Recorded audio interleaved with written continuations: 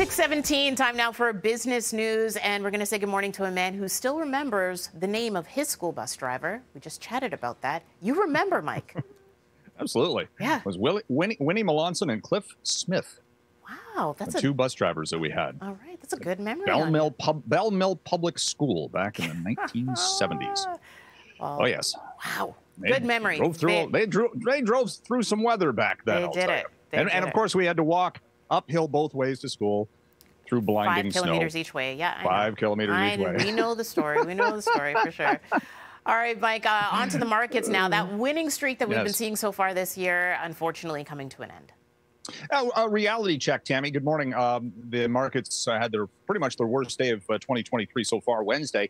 As uh, look, the economy's slowing, and we had some data points showing that out of the U.S. with retail spending down by more than one percent for December. And you'd think that December would be when retail spending would be going up, but not so much because of inflation and rising interest rates. And then you've got oh the fun of the U.S. government and uh, uh, Congress at uh, loggerheads related to uh, whether or not they have to actually raise the debt ceiling, which they have done 72 times over multiple decades. But right now it stands at $31.4 trillion.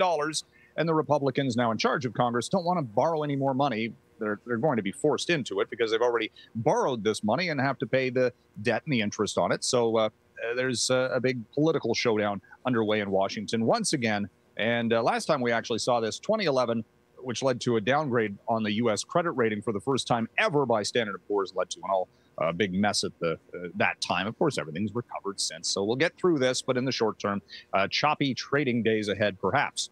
All right, uh, choppy uh, airspace for Sunwing once again, especially when it comes to Saskatchewan. They're making cuts again.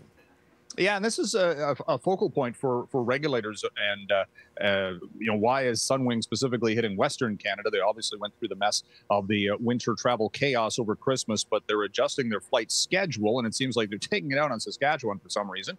Uh, so that's going to uh, uh, likely raise some eyebrows at the Transportation Committee in Ottawa, which is you know, still going over what went wrong with uh, uh, Canadian transport over the past little while.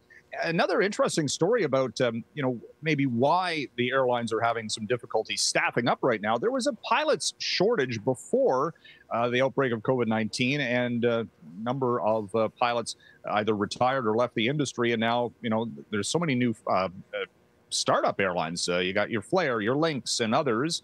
And uh, Porter's expanding, and uh, so there's a pilot shortage. So it's a little bit of a, uh, you know, a, perfect storm, if you will, in the labor ranks for these airlines trying to keep on schedule. Okay, and uh, speaking of having a good memory, you know, with your school bus driver and you walking to school back and forth uh, Yes. in, you know, 10 feet of snow, did you walk to Zellers during uh, that time at all? No, but I did go to Woolworths. Oh yes, that was that was prior to That was Zellers, right? Well, Zellers has actually been around Towers, since Zellers, has been around since 1930, I think. Uh, originally formed in London, uh, founded in London. Oh. But uh, nevertheless, yeah, it's it's a nostalgia play here for the Hudson's Bay Company, which is bringing back uh, 25 Zellers stores, but they're actually going to be in Hudson's Bay uh, stores that are currently in existence because the HBC actually doesn't need as much floor space, perhaps as it once once did. So there's going to be one at Scarborough Town uh, opening um, in the springtime.